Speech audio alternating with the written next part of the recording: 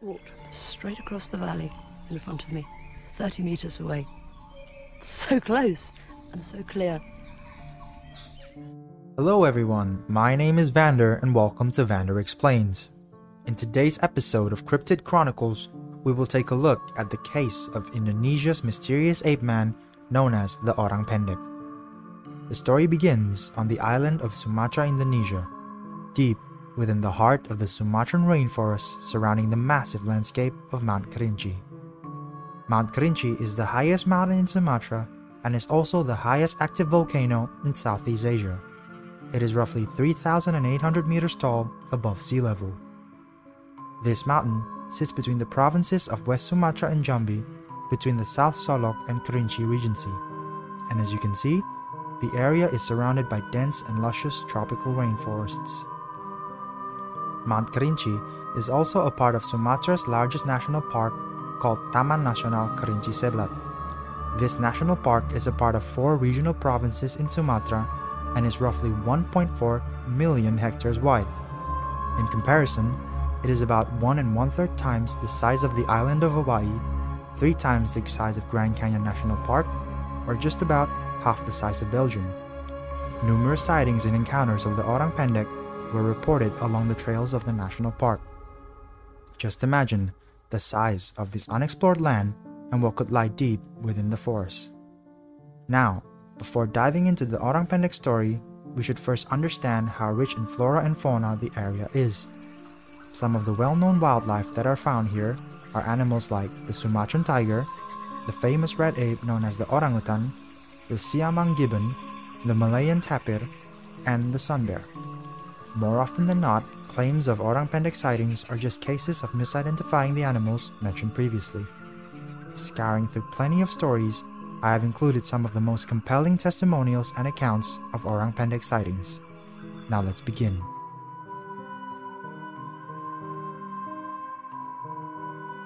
The name Orang Pendek, which means short people, is a name given by the indigenous homeowners of the forests known as Suku Anak Dalam.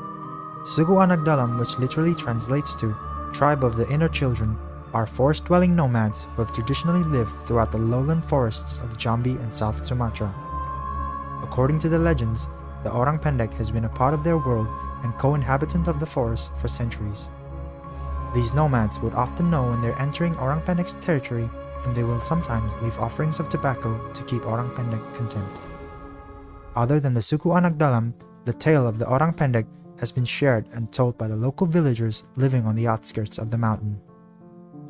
Most of these locals have very strong beliefs and tradition of the supernatural, mystical, and unexplainable.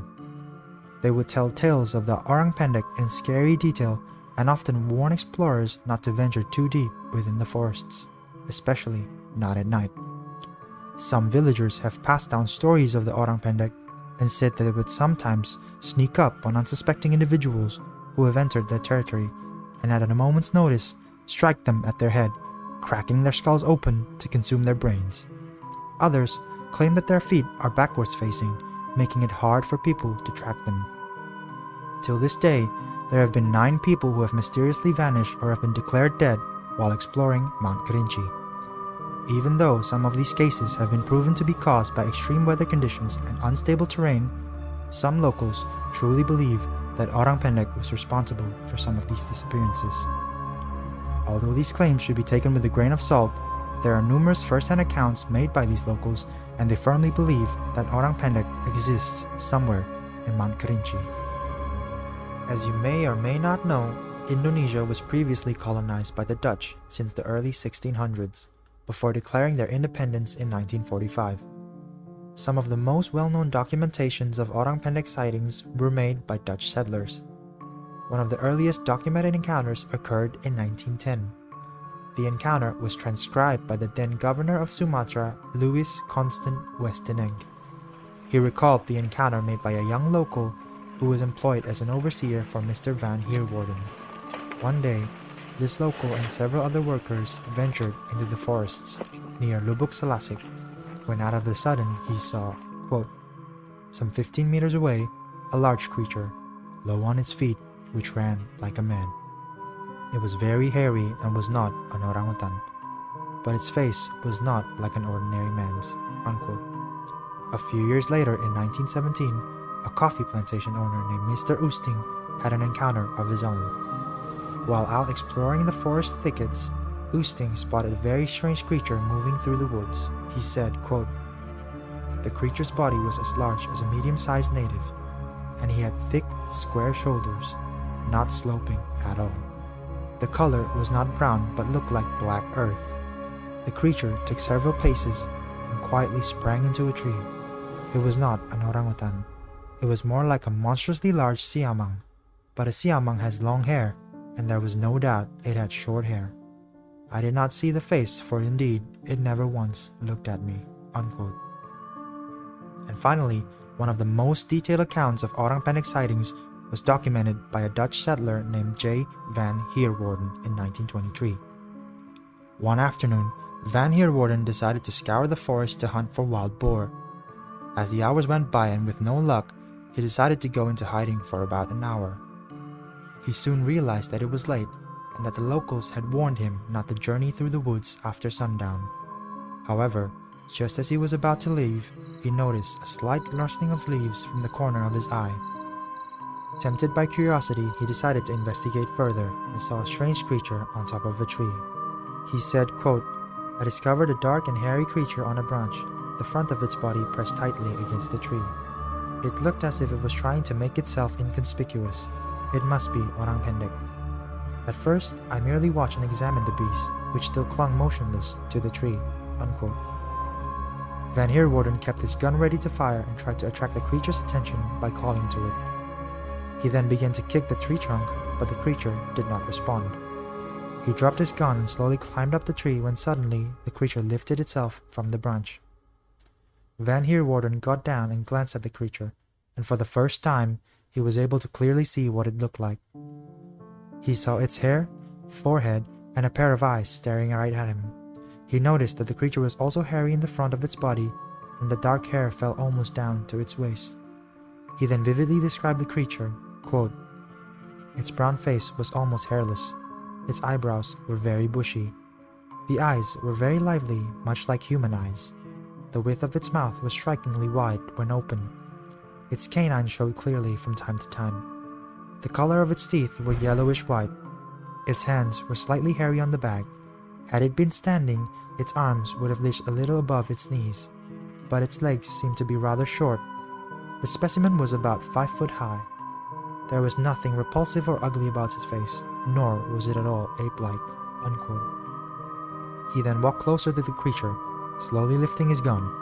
As he raised his gun, the creature uttered a loud groan which was answered by similar echoes in the forests nearby. It then sprang across the tree line before dropping 10 feet to the ground and scurrying away. If what Van Heerwaarden said was actually true, then this is what the Orang Pendek would have looked like. Recently, in the early 2000s, several documentaries about the Orang Pendek were made. These documentaries showed expeditions in the 1990s by scientists, photographers, and explorers such as Debbie Martyr, Jeremy Holden, and Adam Davies. The footage you're about to see is one of many expeditions conducted by Debbie Martyr and her team. I'm just walking between these two trees, vegetation to about hip level. This gorgeous, graceful, very strongly built primate, big ape, walking out of a legend and into broad daylight lit up by the sun and the disbelief of seeing this thing. And if I'd seen it in the concealed in undergrowth, I could have said, well, I saw something. But I didn't see something. I saw an orang pendek walk across the valley, just 30 meters away from me. Based on their first-hand accounts, orang pendek is definitely a bipedal primate with a very defined upper body that was approximately 3 to 4 feet tall. Jeremy Holden was initially skeptical about orang pendek but when he saw the creature himself in 1994, he became a believer. Because of this encounter, he decided to set camera traps around the national park. He managed to capture rare footage of several endangered animals, but ironically, the creature that he saw with his own two eyes was never caught on camera. Some of the only evidence ever found was a footprint that was measured and casted by Adam Davies. The foot was roughly 5 to 6 inches long and 4 inches wide. Several scientists are convinced that this could definitely be a new species of animal, since no existing primate had feet of that shape and size. However, skeptics say that these footprints could be those of an injured or deformed primate. Several hair samples were also collected and sent to the lab for identification. Sadly, the lab results returned inconclusive, which indicated that the hair samples might have been contaminated. With that said, let's look into several theories that might explain or disprove the existence of Orang Pendek. Our first theory is that the Orang Pendek could be a human-like hominid related to Homo floresiensis. Homo floresiensis, nicknamed the Hobbit, is one of the most recently discovered human species. Human remains found in the island of Flores in 2003 proved that Homo floresiensis was indeed a new species in the genus Homo that lived about 100,000 to 50,000 years ago. The female skeleton found in 2003 was measured to be roughly 3 feet and 6 inches tall. It was described to have a flat face, narrow nose, wide pelvis, long arms, large jaws, and large teeth. These features certainly match first-hand depictions of orang pendek made by the locals and Dutch settlers. One issue with this theory is that the island of Flores, where the remains of Homo floresiensis were found, is roughly 1,400 miles away from Mount Kerinci. Could this mean that orang pendek is a different subspecies of the genus Homo, or could the early Homo floresiensis traveled across lands and settled in what is now Kerinci Seblat National Park? Our second theory is that orang pendek could be a lost or unknown orangutan species. Just recently, in November 2017, a new orangutan species was officially announced. Named the Tapanuli orangutan, these orangutans have slightly smaller skulls but larger canines, compared to those of the Sumatran orangutans. They also have flatter faces, frizzier hair, and shorter joints. They are approximately a foot smaller compared to their Sumatran cousins males being under 5 foot tall and females under 4 foot. These measurements of the Tapanuli orangutan eerily corroborates Van Heerwaarden's detailed depictions of orang pendek's size and canines. There are roughly only about 800 Tapanuli orangutans left in the wild, and it is considered the rarest apes on the planet. Could orang pendek actually be Tapanuli orangutan or maybe another undiscovered ape species? Or could it be an entirely different creature still waiting to be discovered? Our third and final theory suggests that Orang Pendek is actually a group of indigenous people referred to as the uncontacted people. These people live in voluntary isolation without any contact with the rest of the world. There are numerous groups of uncontacted people living in places such as the Sentinel Islands, Papua New Guinea, and several across South America. Although most of the people just want to live their lives in complete isolation, some are known to be extremely hostile towards outsiders. On one occasion in 2018, when an American missionary named John attempted to travel to the Sentinel Islands, he was met with an unforeseen violence which ultimately led to his death. Several fishermen spotted John's body lying dead on the island shore, and government's attempt to try and retrieve his body was also unsuccessful. So could the mysterious Orang Pendek actually be a group of uncontacted people living deep inside the forests of Sumatra?